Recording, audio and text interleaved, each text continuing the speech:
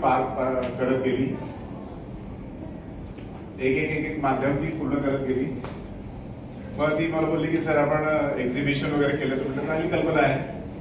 तर विषय निवडला आम्ही भारतरत्न. तशी भारतरत्न आठ पासष्ट होऊन गेली.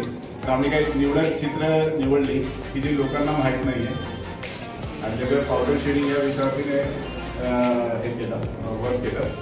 आणि इथं पंचवीस चित्र मांडलेली तिथे तिचं प्लस पॉईंट असं आहे की ती अ, आळशी तर आहेच ती थोडीशी पण प्लस पॉईंट नाही म्हणतो ना.